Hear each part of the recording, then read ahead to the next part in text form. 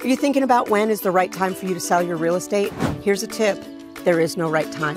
It's nearly impossible to perfectly time the market, so a better way of looking at it is to think about what's going on with you. Are you busting out of your house?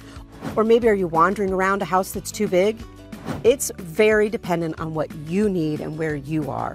Let's get together to make the right plan for you.